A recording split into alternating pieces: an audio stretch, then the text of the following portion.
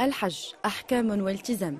ذاك هو عنوان الندوة الصحفية التي نظمتها وزارة الشؤون الدينية بالتعاون مع وزارة الصحة ووزارة النقل والشركة الوطنية للخدمات والإقامات بتونس.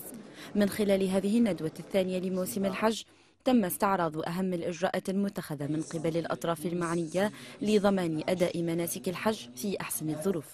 وضعنا خطة تشغيلية لحج هذا العام. وهذه التسمية لها دلالتها. الخطة التشغيلية غالبا أنها تكون للمشاريع التنفيذية الإجرائية. وفرعنا هذه الخطة التشغيلية العامة إلى خطط تفصيلية جزئية. توزعت على مشمولات ومستويات مشهد الحج من حيث السكن والنقل والإرشاد الديني والبعثة الصحية الطبية والمطار والمشاعر والإحرام. من أهم الإجراءات كذلك اللي حرصنا باش نيسروا بها هذا الموسم هي أن تعاقدنا مع شركة شحن سعودية لتسجيل ونقل أمتعة الحجيج من فنادق الإقامة في جدة والمدينة مباشرة قبل 24 سنة 24 ساعة. من موعد انطلاق رحلة العودة وذلك لتفادي الاكتظاظ. وزارة الصحة بدورها شاركت في التحسيس وتوعية الحجاج الميامين من خلال جملة من النصائح لوقايتهم وتفادي حدوث أي اضطرابات صحية وقت السفر أو أثناء القيام بمناسك الحج. إحنا حددنا الأدوية اللازمة الكل والمستلزمات الكل وأهم شيء حددنا الإطار البشري الكفء والمؤهل انطلاقا من الاحتياجات الحقيقية للموسم. فهذا هو إحنا معناها العمل نتاعنا هو عمل تقني ومرتبط بالحاجة نتاع الحرفاء نتاعنا ولا نتاع المواطن. في المرحلة هذيك وفي الظروف هذيك. هنة تنظيمية سادت موسم الحج في السنة الفارطة وقد انجر عن ذلك ضياع عديد الحجاج عن المجموعات المنتمين إليها.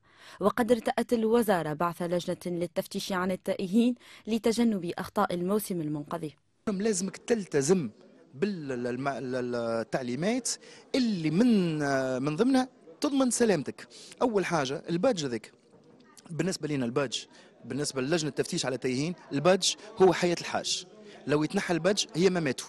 معناها لو حاج يضيع آه، معناها يصير لبس في الأماكن والأماكن الكبيرة برشا غادي والعدد الهائل نتاع الناس والازدحام يخلي الحاج ما ينجمش يفرق ما بين الأنهج. سوء التنظيم هذا طال السكن والخدمات المقدمة للحجيج والشركة الوطنية للخدمات والإقامات اتخذت تدابير جديدة في هذا الموسم الحالي. سعينا من ذلك إلى تحسين حتى مستوى السكن هذا والرجوع إلى المنطقة المركزية يؤدي حتما إلى اختيار يعني مجموعة من الفنادق من ضمن ما تبقى مما شمله الهدم في هذه المنطقة. أكثر من 80% من الوحدات السكنية والفندقية تم هدمها في المنطقة المتاخمة للحرم المكي.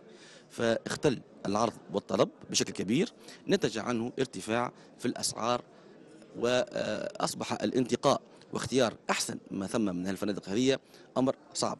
الحمد لله وفقنا إلى التقاء خمسة وحدات فندقية بالنسبة لحجاج الفرس كلها يعني فنادق آه، من مستوى مرموق تليق بالحاج التونسي إن شاء الله آه، والبعد عن الحرم يتراوح بين 250 و 1000 متر على أقصى تقدير. مطل على الحرم مباشرة. التنقل يكون على الأقدام. إرشاد الحج وتوعيته دينيا قبل موسم الحج وأثناء أداء المناسك أمر ضروري. وقد وضعت الوزارة على ذمة الحجيج مرشدين ومرشدات لتسهيل مهمة الحج والقيام بمناسك الحج على الوجه المطلوب رغم بعض الصعوبات. يقع توعية الحجيج.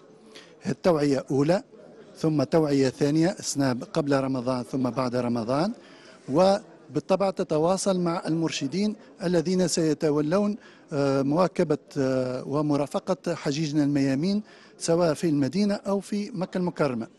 التوعية قرابة معناها ثلاثة أشهر اللي إن شاء الله تضمن آه، معناها توعية إن شاء الله وافية وضافية للحجيج باش يتعرفوا على المناسك متاعهم ويقوموا بها إن شاء الله على أحسن وجه.